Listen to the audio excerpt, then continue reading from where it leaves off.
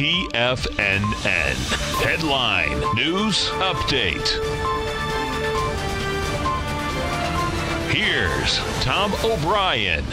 Welcome, folks. We have the Dow Industrials down 247, Nasdaq off 36, S&P's down 18. And what you had up here, folks, uh, you know, bottom line is that you're still uh, in window dressing here, uh, and there's a little window breaking going on out here. Uh, what you had, you had the S&P as well as the Nasdaq and the small caps uh, trying to get up and over the uh, October 17th, the November 6th, as well as the December 3rd highs, and you get failures all over the place. Bottom line was fast, furious uh, going up, gave it up in spades, pulling back.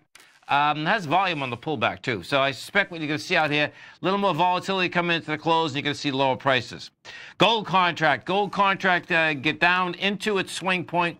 It has rejected lower price uh, at that swing point.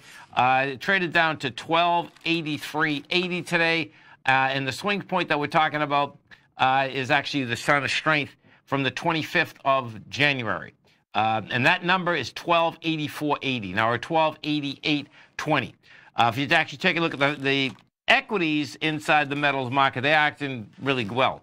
Uh, the GDX only had 26 million shares traded, gets under the uh, high of Friday, which is 78, was going into how we went topside on at the end of January, dramatically lighter volume. Uh, those equities want higher price, lower yield. We go and we take a look at the uh, 10-year yield, 10-year note. That's up eight ticks, 121, 28. 30-year bonds up 19 to 144.13. In both cases, folks, they rejected lower price. They had lighter volume, and they're going topside once again. Just keep your eye on this bond market because that has been the most consistent market out here as to uh, where it wants to go, number one, and what that has to do with the S&P. I suspect what we're going to see once again is you're going to see notes and bonds, higher price, lower yield. King dollar. King dollar still fighting it out, bulls and bears in a huge way. The King dollar on Friday, we went topside. You had volume behind the move on Friday. Today, it's dying on the vine. That being said, though, you know, we did 31,000 contracts on Friday. Today you have 15. Now, we haven't given it up on price. The dollar index would have to close under 96,475 and we're at 96,605. You close up there, probability is still it's going to try to test either the, the high or the low of the high, which is that 96,660 mark.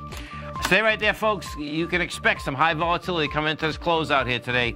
Dow Industrials are down 272. NASDAQ is off 41. S&P is down 21. Coming right back.